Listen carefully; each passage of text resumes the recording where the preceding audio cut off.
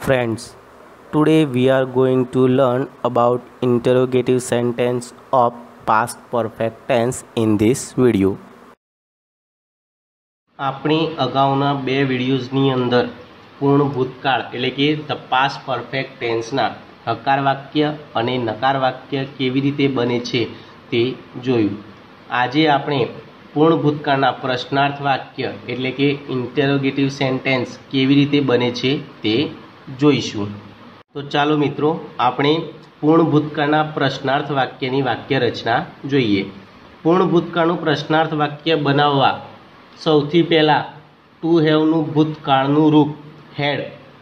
સૌથી પહેલાં મૂકીશું, ત્યારબાદ કર્તા મૂકીશું, પછી ક્રિયાપદનું ભૂતકૃદન લખીશું, પછી કર્મ અને અન્ય શબ્દો. અને હા, છેલ્લે પ્રશ્નાર્થ ચિહ્ન મૂકીશું. પૂર્ણ ભૂતકાળના પ્રશ્નાર્થ વાક્યો કેવી રીતે બને છે તે આપણે ઉદાહરણ વડે સમજીએ. પહેલું ઉદાહરણ છે, શું ચોર ત્યાંથી ભાગી ગયો હતો? તો અહીંયા ચોર એ કરતા છે અને વાક્ય પ્રશ્નાર્થ છે, તો પ્રશ્નાર્થ વાક્ય છે, તેથી આપણે હેડ સૌપ્રથમ લખીશું, ત્યારબાદ કરતા કરતા કોણ છે? ચોર. તો હેડ ધ થીફ હવે ક્રિયાપદનું ભૂતકૃદન લખીશું ક્રિયાપદ કયું છે? ભાગી જવું, નાસી જવું. તો રન, રનનું ભૂતકૃદન શું થશે? રન જ થશે.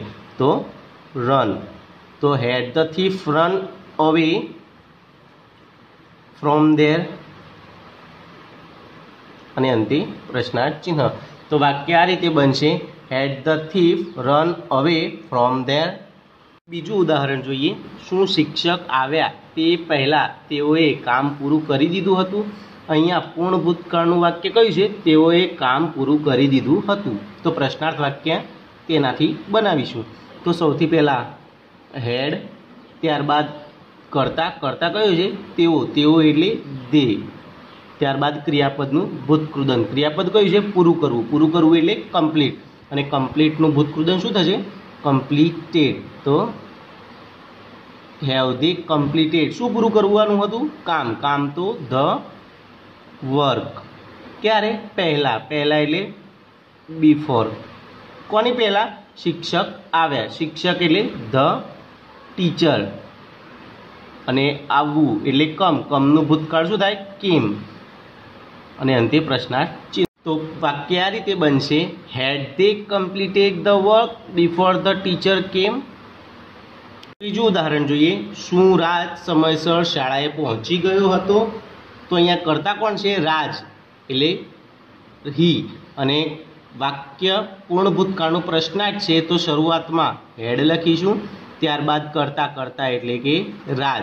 તો હેડ રાજ શાળાએ પહોંચી ગયો હતો. પહોંચવું પહોંચવું એટલે રીચ. તો રીચનું ભૂતકૃદન શું થશે? રીચડ.